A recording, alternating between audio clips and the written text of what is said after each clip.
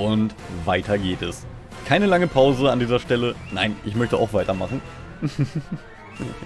Dementsprechend, willkommen im Kampf gegen Sephiroth. Wie man unschwer an einer Neuinterpretation des One-Winged Angels hören kann. Aber egal. Äh, möchte ich den Kampf beginnen? Ja, ich möchte den Kampf beginnen. Bist du bereit? Da bist du.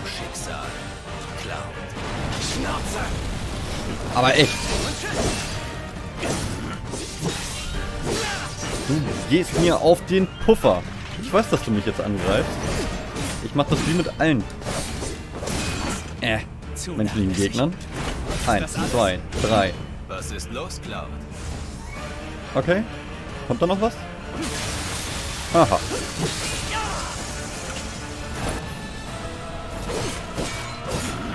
So. Jetzt wollen wir mal einen Mutangriff starten. Hab ich dich erwischt? Hat's wehgetan? Hat's Spaß gemacht? Ja? Keine Sorge. Jetzt kommt ein Impuls an. Oh, oder auch nicht. Na nie? Cloud, erinnerst du dich?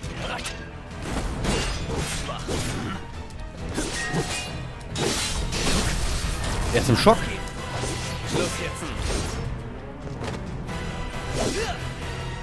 Du mich nicht. Limit Break ist ab. Komm, Sephiroth hat so etwas verdient.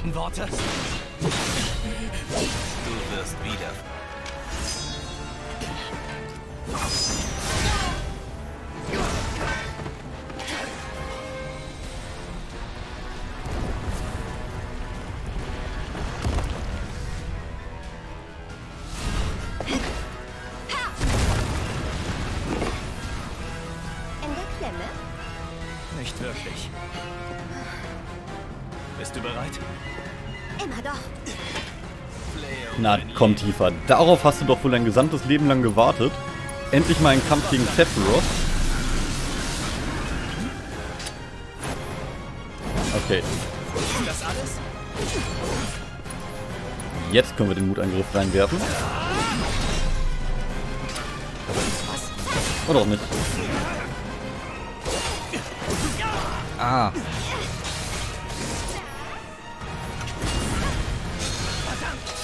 Das war zu früh losgelassen. Würde ich sagen. Okay, ich muss jetzt gleich mal ein bisschen aufpassen. So, Tiefer muss ja erstmal kurz einen Vitra reinwerfen. Weil Cloud gibt sich hier gerade von der besten Seite. So, und im Schock und im Limit Break.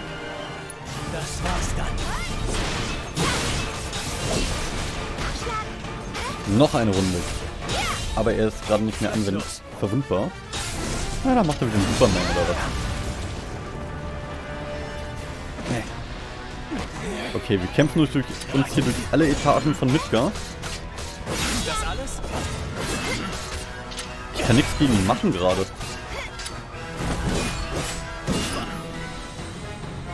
Okay, äh, dann würde ich mal sagen... Von... Von Tifa muss auf jeden Fall... Nochmal ein bisschen Action kommen. Aber er ist nicht angreifbar. Das heißt, ich kann gerade eben echt nur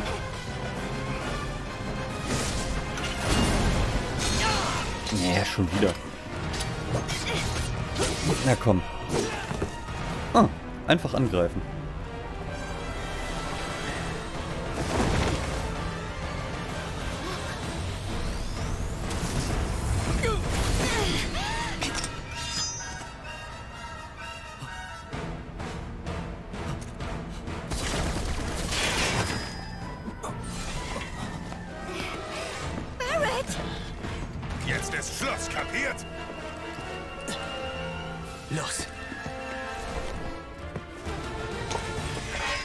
Sache... Hoppla. Eine Sache, die ich nie verstanden habe, ist, warum die diesem Charakter auf einmal diese Flügel angesetzt haben. Der war so cool vorher. So. Na, wo ist er denn? Da ist er.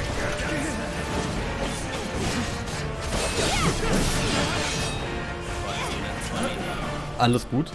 Noch ist hier nichts verloren. Tiefer, du bist, hast auch noch Fertigkeiten offen.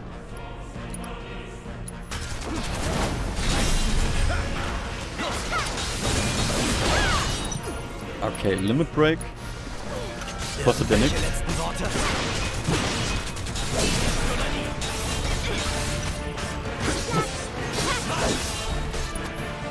So, wir können wieder. Mutangriff.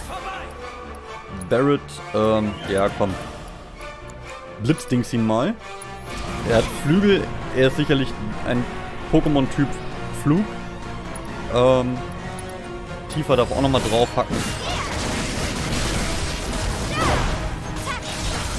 Oh, nice. Und Tiefer ist ein Limit Break.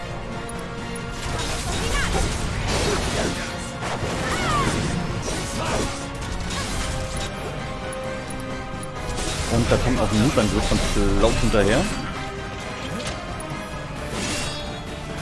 Ja, so brauchst du mich nicht antanzen.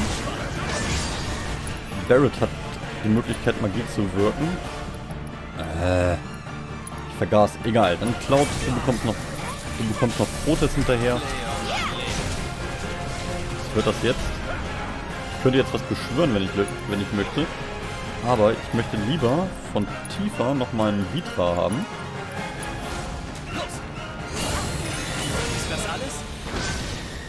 Aber echt.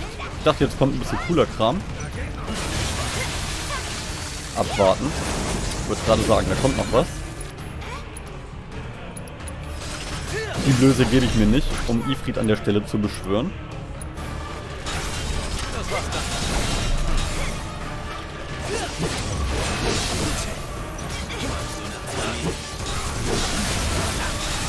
Aufpassen. Ah, das hat wehgetan. Aber egal. Der kann ja richtig Magie wirken. Ähm, aber das macht nichts, denn Tifa kann hier auch ordentlich Kette geben. Und außerdem... Oh. Der Achtstreich ist böse. Ach komm, Junge. Aber echt.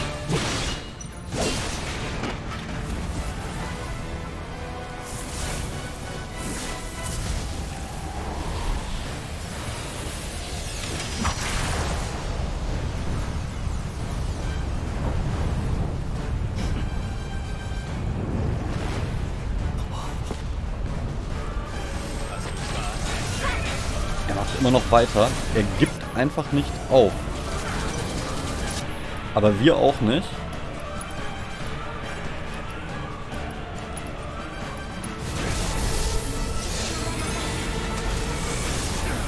Ich komme jetzt langsam auf dich zu. Und sobald ich bei dir bin, hole ich dich vom Himmel.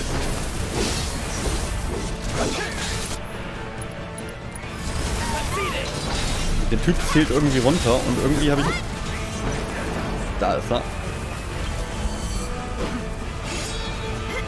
Was auch immer da jetzt passiert. Es ist mir egal. Es kommt noch ein Limit Break.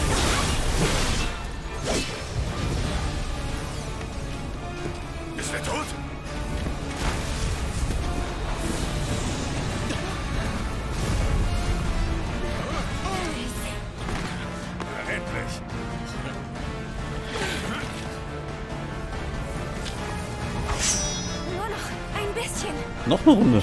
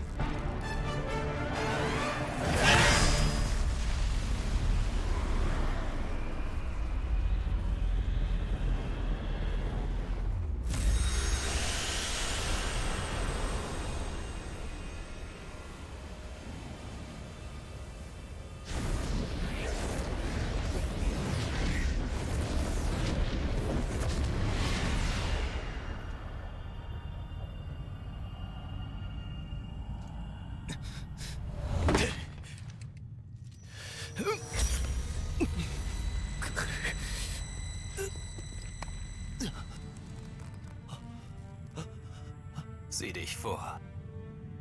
Die Sphäre vor uns existiert noch nicht.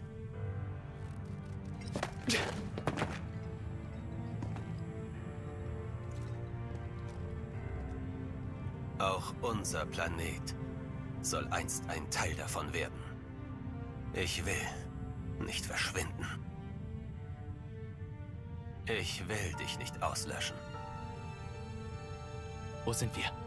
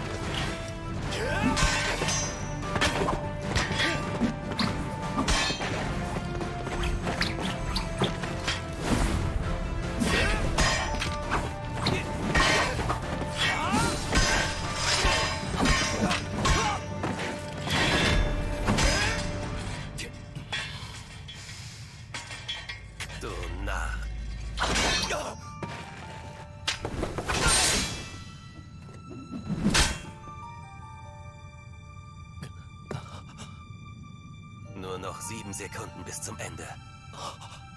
Aber es ist nicht zu spät. Die Zukunft entscheidest du,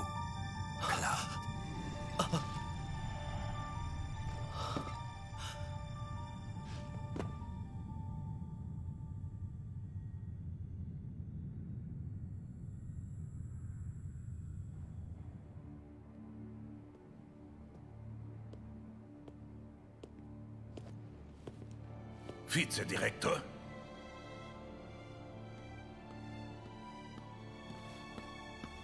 Direktor. Richtig.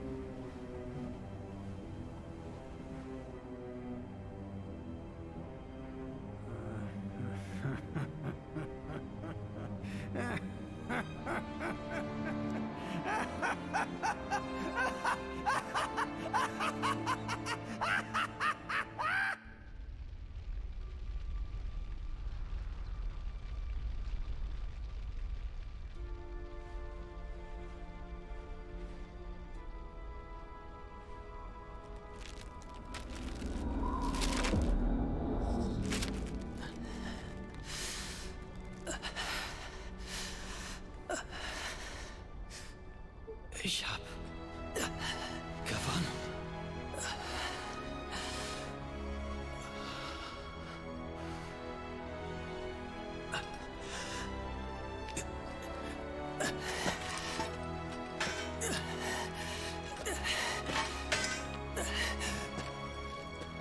Hast du gesehen?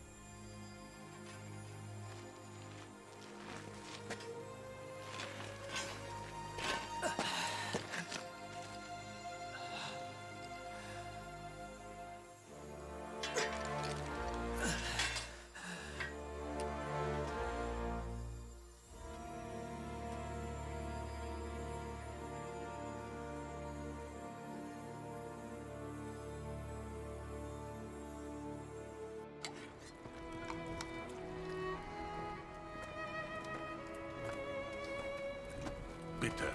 Vielen Dank.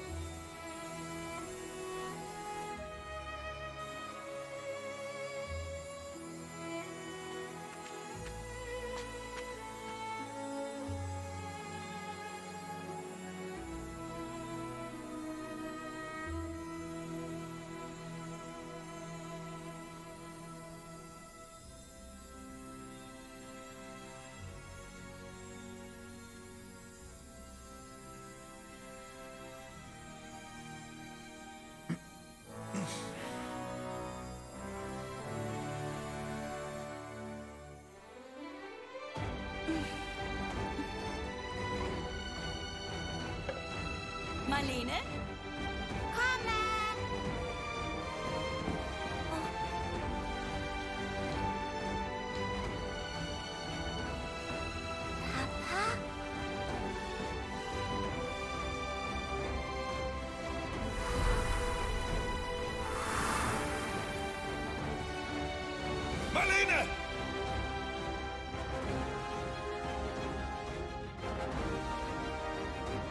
Warte auf mich.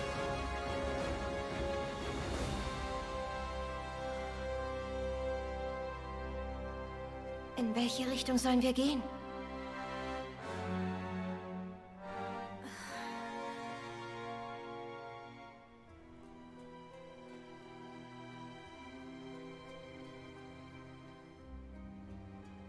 Sephiroth. Solange er lebt, muss ich. Du hast ihn doch besiegt.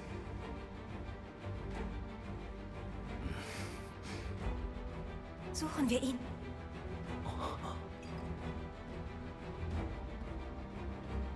Zusammen. Ich komme mit. Für die Verfolgung. Braucht ihr einen Fährtenleser?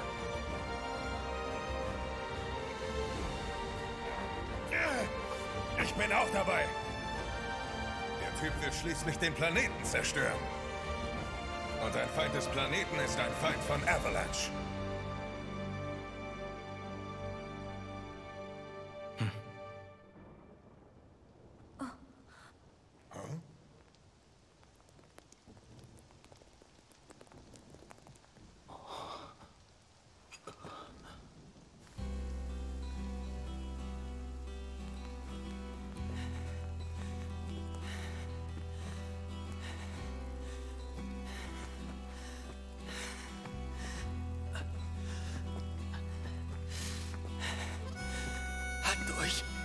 Cloud. Noch ein bisschen.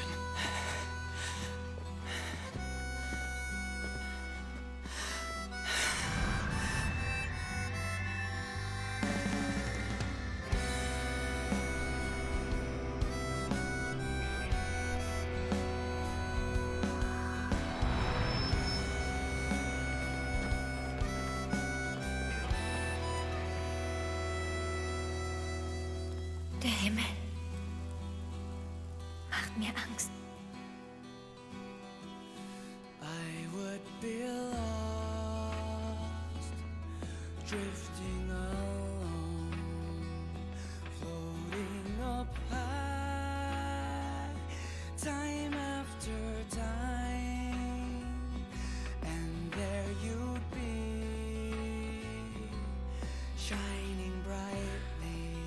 Okay, jetzt fängt der Shitstorm an.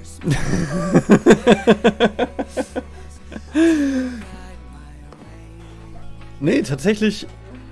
Tatsächlich muss ich sagen, ich bin sehr begeistert.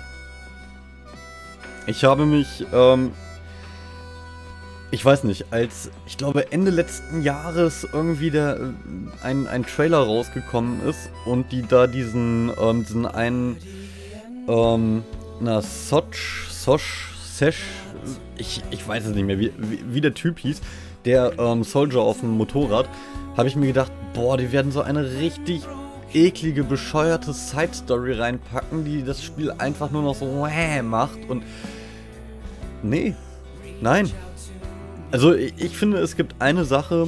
Ähm, kleinen Moment. Erstmal muss ich mal einen Schluck trinken. Hm. Also ich muss ehrlich sagen, es gibt eine Sache, die ich als ähm, ziemlich zwecklos und unnötig fand. Und das waren die äh, Mäuren. Die, die, die haben, was, was sollte das? Ich meine, was, warum? Im, Im Endeffekt sind die nur da, um, um sozusagen darzustellen, dass das Schicksal ja schon feststeht und die jetzt losziehen, um ihr eigenes Schicksal zu bestreiten und es selber zu entscheiden. Das war, fand ich persönlich unnötig, weil das hat nichts legitimiert außer dem Kampf gegen Sephiroth am Ende vielleicht, aber auch wirklich nur vielleicht. Ja, aber so ansonsten war ich sehr begeistert. Also ich fand es super, wie, ähm, wie die einige Stellen ausgeschmückt haben. Auch, dass, ähm, dass ja anscheinend Bix und Wedge überlebt haben und hoffentlich auch Jesse, verdammte Axt. Und ähm, das, das finde ich super. Ich fand auch diese Side Stories total geil. Ich weiß nicht, ich bin. Ich sag mal, ich, ich habe wenig erwartet und habe viel bekommen. Also es fühlte sich nicht wie ein vollständiges Spiel an und ich glaube, das sollte es auch nie.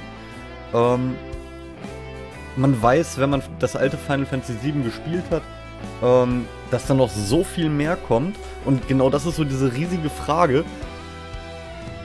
Dieser, dieser letzte Satz, na, die, die Reise ins Ungewisse ähm, oder ins Unbekannte beginnt. Genau, es ist, es fühlt sich an, als wäre es etwas Unbekanntes. Und das finde ich einerseits halt eben ziemlich cool, weil ich will mehr davon.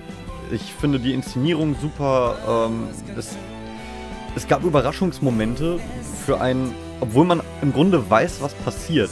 Das ist wie mit Crisis Core, man weiß, was am Ende passiert, aber es packt einen trotzdem. Und ähm, genauso ist es hier halt eben auch. Man weiß, was am Ende passiert und es packt einen. Und das finde ich ist halt eben gut gemacht, gut erwischt. Der Soundtrack ist an manchen Stellen ein bisschen zu hintergründig geraten, finde ich. Das hat so ein bisschen diesen, ähm, diesen Wiedererkennungswert von dem alten Final Fantasy ein bisschen, äh, ein bisschen fallen gelassen.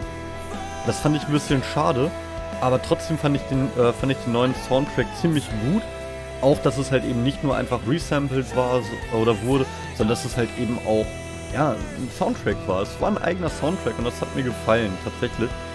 Ähm, ich muss sagen, Don Coneo ist so, auch so eine Sache, ich habe sie schon immer gehasst und irgendwie hasse ich sie immer noch und dieses Spiel lässt mich diese Person noch mehr hassen.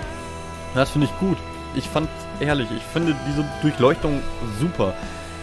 Ähm, das Kampfsystem ist mir am Anfang ein bisschen hart aufgestoßen, aber man muss sich erstmal reinfuchsen. Ich fand es auch gelungen. Es gab aber so ein paar Sachen, die ich, wovor ich gerade echt Angst habe. Und das ist eher so das, was in Zukunft kommen wird.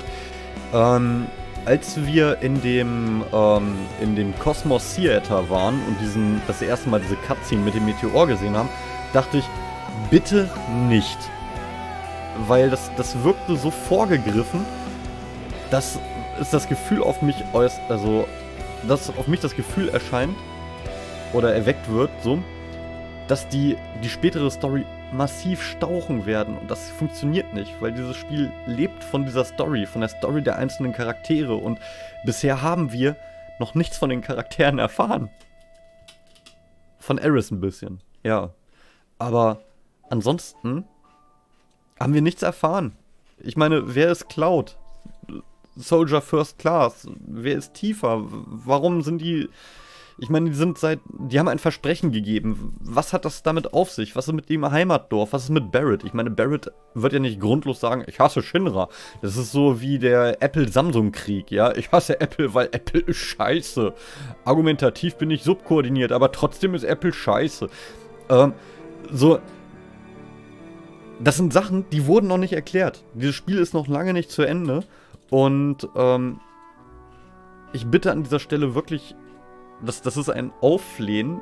Square Enix macht weiter. Ich warte auch gerne nochmal ein Jahr. Länger nicht, nur ein Jahr. Ich warte nur ein Jahr auf einen Nachfolger. Nein, natürlich nicht, aber die können sich meinetwegen Zeit lassen. Wenn es ein Projekt wird, welches zum Schluss über zehn Jahre hinausläuft, es ist mir egal, weil die haben ein super gutes, einen super guten Ansatz geliefert. Ich meine, Midgar Midgar liefert gerade mal, also ich habe mir meine alten Videos angeguckt, ähm, also nicht angeguckt, sondern mal geguckt. Ich glaube, Midgar verlasse ich bei, Stuf, äh, bei, bei Folge 20 und Stufe 14 oder 15 so in dem Dreh. So, das ist effektiv eine Spielzeit gewesen von 5 Stunden. Wenn man langsam ist, es geht noch schneller und ich war langsam, weil ich gerne mal so ein paar Umwege mache und ein paar Funfacts dazu erzähle und solche Geschichten. Aber das, das war, muss man, wie gesagt, da muss man wirklich sagen, das war Folge 20, wo ich aus Midgar rausgekommen bin. Oder lass es 26 gewesen sein. Aber mein gesamtes altes Let's Play von früher hat 140 Folgen gehabt. Und ich habe bei weitem keinen 100% Run gemacht, sondern ich habe lediglich nur Clouds beste Waffe geholt. Äh, und ich glaube, das war's schon. Ach doch, nee, nicht ganz. Clouds beste Waffe und ich habe auch noch die Kampfarena gemacht. Aber das, das war's. Und das habe ich auch größtenteils offscreen erledigt, ja. Also außer diese story-relevanten Sachen. Und da dann halt eben trotzdem 130, 140, ich weiß es nicht mehr. Es waren auf jeden Fall über 100 Folgen, weit über 100 Folgen. Und wir haben quasi von diesen 100 Folgen vielleicht gerade mal ein Fünftel gesehen wenn man schnell ist. Aber dieses Spiel, ich meine, die, diese, diese fünf Stunden haben jetzt wie viele Stunden gedauert? Keine Ahnung. 30? 40? Mein Gott! Was? Ich bin überwältigt. Ich bin wirklich überwältigt. Weil ich auch irgendwann zwischenzeitlich von diesem Hype so kalt gelassen wurde. Also der, der, der Hype war irgendwie nicht mehr da. Ich hatte ich hatte mich gefreut, hey, Final Fantasy VII Remake. Und dann kam so ein, ja, wir bringen es jetzt episodenweise raus. Und ich so, ja, okay. Ähm, was wollt ihr mit der ersten Episode bringen? Midgar. Okay, Leute, ich, ich vertraue euch einfach mal blind an dieser Stelle. Mein Hype war in dem Moment komplett zurückgezogen, als es hieß, wir wollen nur Midgar präsentieren. Und das, das war halt eben für mich so ein, ja, komm, es ist Final Fantasy VII. Ich kenne mich, ich werde es mir sowieso kaufen ähm, und spielen. Aber nur Midgard, das überzeugt mich jetzt nicht so. Und das hat es auch nicht. Das hat es, bis ich dieses Spiel angefangen habe und bis ich dann gesehen habe, was die da für Side Stories, also mit dem, mit dem einen Trailer, bei dem sie den Anschein erweckt haben, so es gibt viel mehr als nur die Main Story und es gibt viel mehr Side Story war für mich so dieser Moment, wo ich mir dachte, ach bitte keine flache Story neben der Story, bleibt bitte bei eurem Pfad. Und haben sie gemacht. Bis auf diese Dementor-Geschichte. Die, die, reden wir nicht drüber. Die, die ist nie geschehen, ja. Die ist an dieser Stelle echt nie geschehen. Ich glaube, das wollten die auch genau so zeigen. Das ist nie passiert. Ja, mit dem, mit dem Ende. Ich finde es gut, dass, dass Biggs und Wedge überlebt haben und hoffentlich auch Jesse. Ähm, und das finde ich super. Ich fand.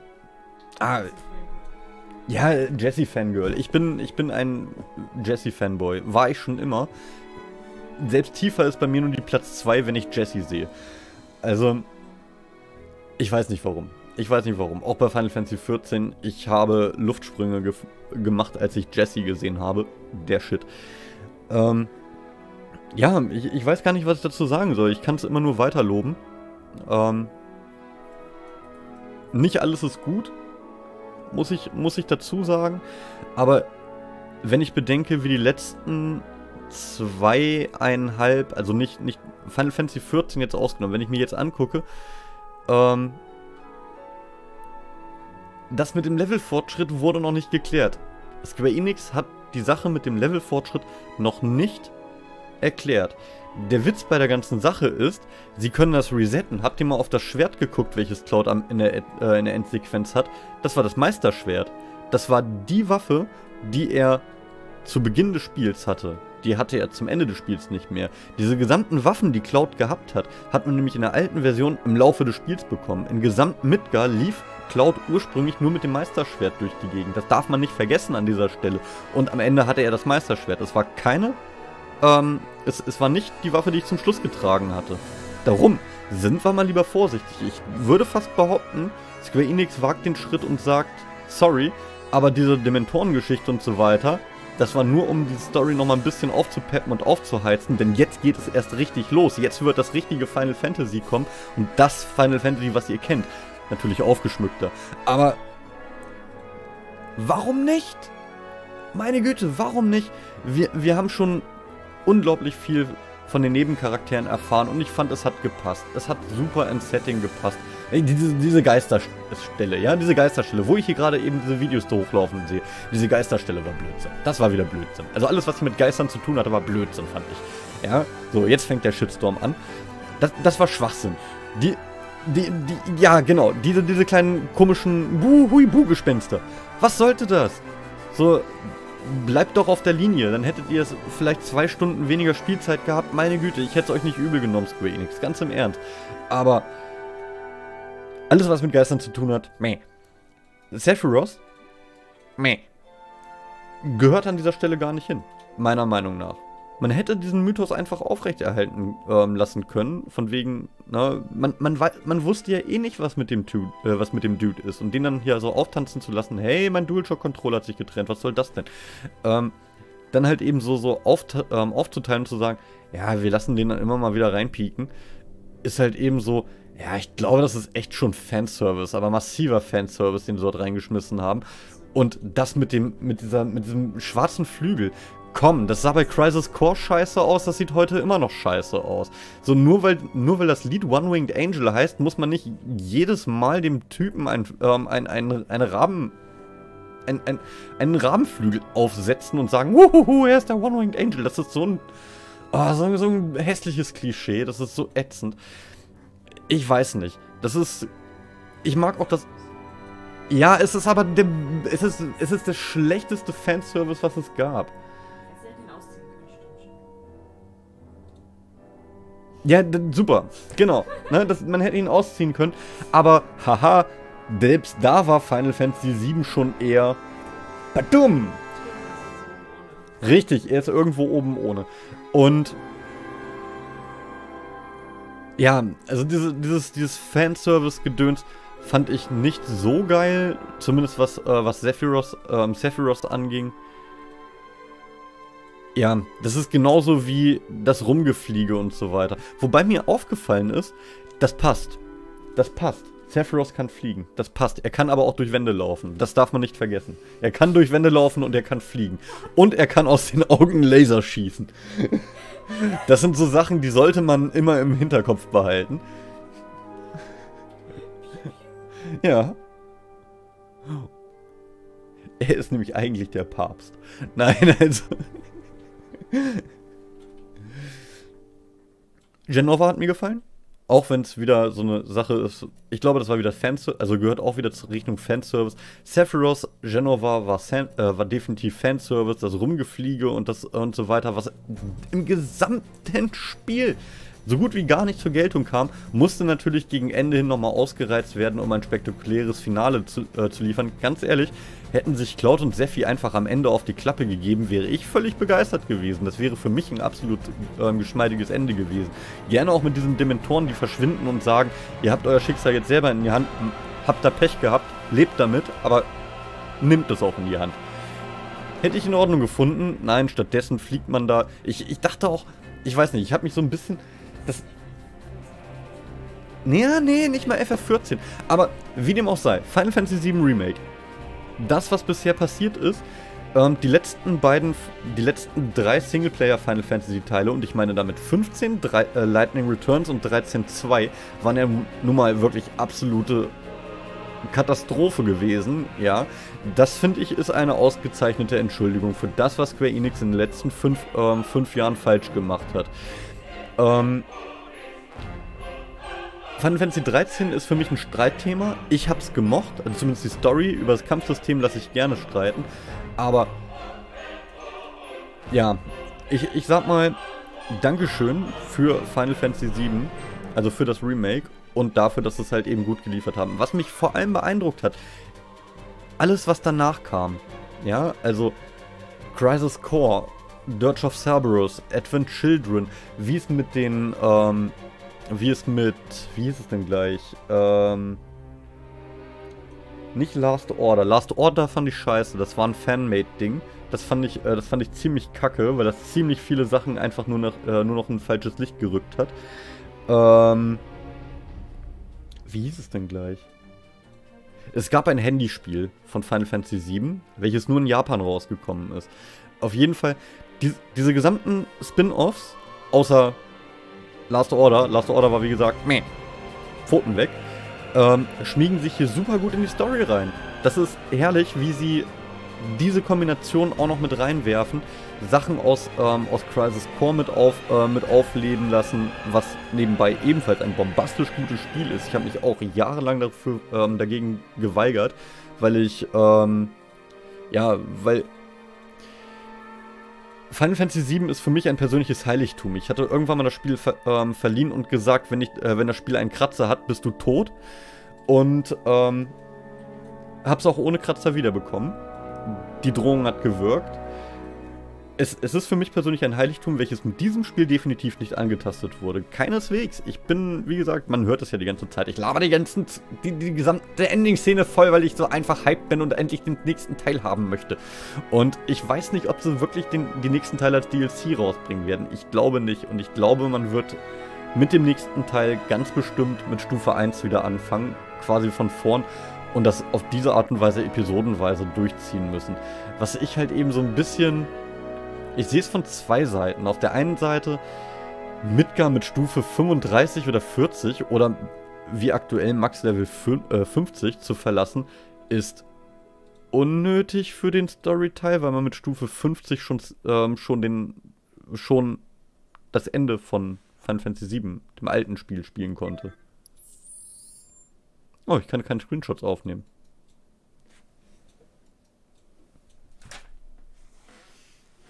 Okay.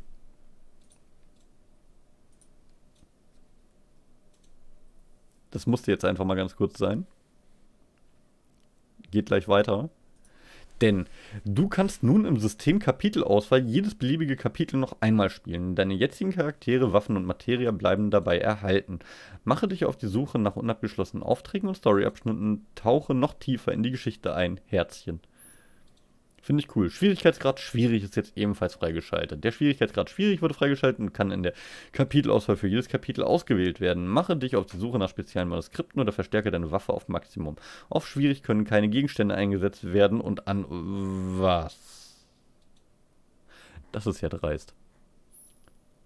Oh, im Hauptmenü kannst du unter Spielfortschritt beliebige Kampfstatistiken und Storywegpunkte einsehen. Okay. Das wird ja immer mehr. Bonus-EP und FP, die im Kampf erhalten. Okay.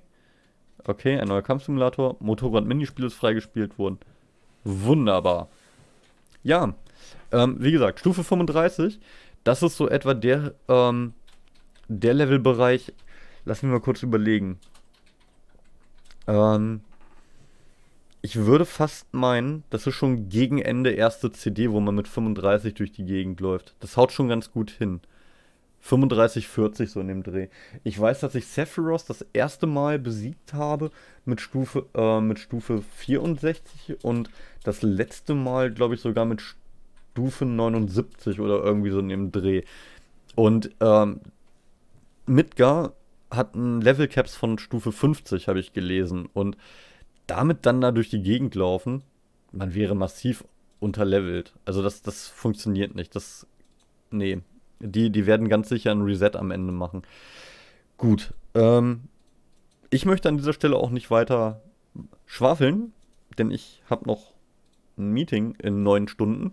Deswegen werde ich jetzt das abhauen und sage mal vielen, vielen Dank fürs Zuschauen. Ähm, wenn ihr Spaß hattet, dieses gesamte Let's Play gibt es natürlich auch auf YouTube. Und ähm, wir sehen uns allerspätestens zum nächsten Teil wieder. Ansonsten haben wir ja noch ganz viele andere Projekte. Horizon Zero Dawn, Sailor Moon startet demnächst. Ähm, was, was haben wir noch? Ähm, es ist Final Fantasy 14 natürlich. Ganz vergessen. Final Fantasy 14. Sera, müssen wir machen. Was? Das kannst du streamen, neuen Primär. Achso, ja, der neue Prima E ist ja jetzt rausgekommen. Ähm, ja, ansonsten stehen noch ein paar Sachen auf meiner To-Do-List. Ähm, Wolfenstein stand noch drauf, ähm, noch ein weiterer Legend of Zelda-Titel, ähm, Breath of the Wild, weil da ist ja auch mittlerweile ein, äh, eine Fortsetzung angekündigt. Ähm, was war denn das noch? Irgendwas war das noch. Ich habe ganz viele, ich habe ganz viele Titel, die ich auf jeden Fall nochmal spielen möchte, die ich euch auch nicht vorenthalten möchte. Ähm, ja, ich werde jetzt auf jeden Fall ins Bett, geht und, äh, Bett gehen und weinen, weil ich meine liebsten Charaktere jetzt wahrscheinlich über ein Jahr lang einmorten werde. Bis bald. Jesse.